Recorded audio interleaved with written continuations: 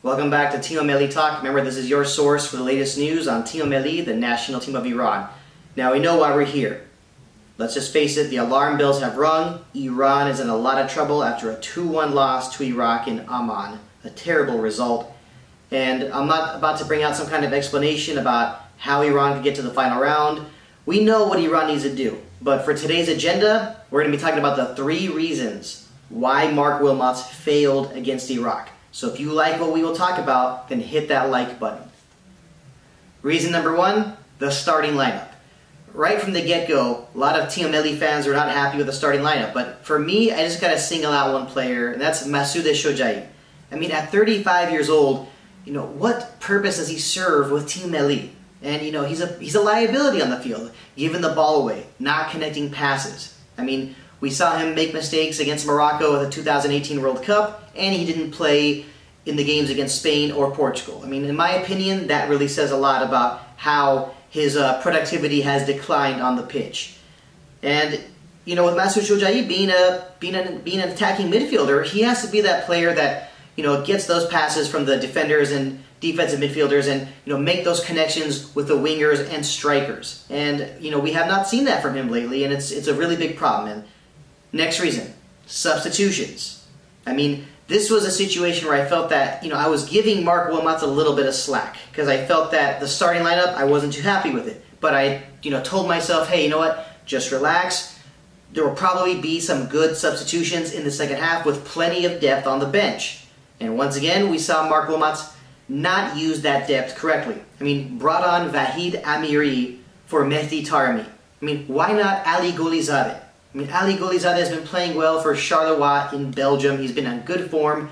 He's a good left-footed winger with good speed and great dribbling skills. I mean, why did he not bring him on? I mean, maybe you know. Leave a comment down below. And as for the other substitutions, well, before getting to the another one that made no sense is that well, left back Milad Mohammadi got injured. So he had to be subbed off and he was replaced by Mohammad Naderi. You know, we're not going to go out of our way to, you know, nitpick and, you know, go after Wilmots there. But we did finally see Kaveh Rezaei come on. You know, another player has been playing well for Charleroi in Belgium. But he came on in the 90th minute for Sardar Azmoun. I mean, waiting all the way to the 90th minute, why? What was the point of that? I mean, I mentioned the depth that Wilmots had, and he just and he just seemed like it wasn't important. I mean, he's from Belgium. He used to play for the national team of Belgium, and what was it that he did not want to bring on? Um, you know, Gholizadeh, or you know, give more minutes to Kaveh Rezaei. Two players playing for Charleroi in Belgium just makes no sense to me whatsoever. And what is it that's Vahid? What, what is it that Vahid Amiri has done so far this season that is so special? I mean, that right there says a lot. And if you want to add insult to injury, remember, Masoud Shojaei picked up a yellow card in the 49th minute. It was right there at that moment where he should have been subbed off. But instead, he stayed on, eventually got his second yellow card in the 82nd minute, and Iran was reduced to 10 men. I mean, just absolutely ridiculous. I have no idea what's going through the mind of Marc Wilmots. Reason number three, we're talking strategy. Well, actually, I gotta, I gotta slow down a bit. Can I actually talk strategy about this? Because when I look back at that game between Iran and Iraq, there pretty much was no strategy. I mean, it was basically just play the long ball and hope that something good happens. And in the second half, you basically saw no kind of offense or any kind of you know good strategy or tactics being used by Team Melli in the second half. I mean, it was just it's almost like the offense. Basically, the offense did not exist, and it was it became very frustrating to watch. And that's the honest truth.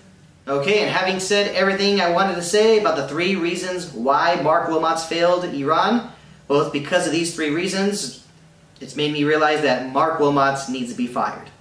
He has no business being head coach of Iran. He has clearly shown that he is incompetent and is not good enough to do this job. I mean, look where Iran has gone. I mean, just go back to the 2018 World Cup, a win against Morocco, a close 1-0 loss to Spain, a 1-1 tie against Portugal when they came so close to going to the second round, and now this. Losing to teams like Bahrain and Iraq. Just absolutely terrible.